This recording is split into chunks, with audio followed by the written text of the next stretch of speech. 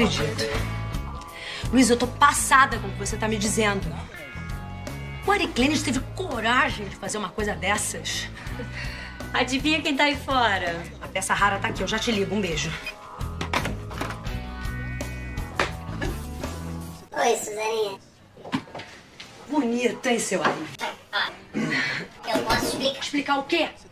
Como é que se me apronta uma coisa dessas com a agência? A Luísa é minha amiga. O Edgar é filho do meu patrão. Você tem ideia da saia justa em que você me colocou? Uma coisa não tem nada a ver com Outra, Suzaninha. Não, uma coisa não tem nada a ver com outra. Quem te arrumou esse emprego, Ari? Ih, Suzaninha, você me conhece. Você me conhece, me deu, olha, me cortou o coração ver aquelas meninas magrinhas, entendeu? Tudo sem energia, sem força, fraquinha. Eu não posso passar. Eu nunca, você sabe, você me conhece, eu nunca suportei ver uma pessoa passando fome. Do meu lado, inclusive, eu faço um trabalho voluntário todo ano. Eu, eu, eu, eu, eu passo o sopão pra pobre ali no. no, no é, no. no mi- minha, Você acha que eu vou cair na tua conversa, Ari? Você acha que você aprontou pra ser demitido? Eu te conheço, Ari. Você se sentiu humilhado tá inventando essas Ah, humilhante. Qualquer trabalho honesto é sempre humilhante pra você. Você mais do que ninguém, Suzaninha, você deveria me entender, você deveria saber o, o, a- como que eu dou duro nessa vida, Suzaninha. Você, você já tem que estar acostumado comigo, porque eu, eu tenho esse espírito em- empreendedor. Suzaninha.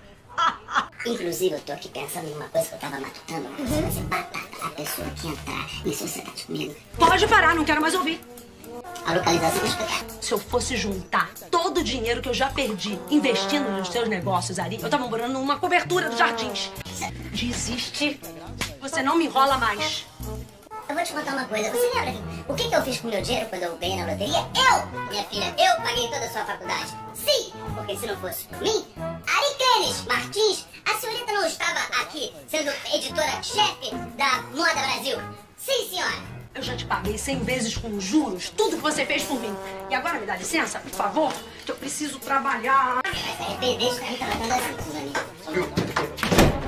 Você é uma pessoa que tá sem coração, tá amarga, entendeu? Dinheiro pro táxi. Hã? Dinheiro pro táxi.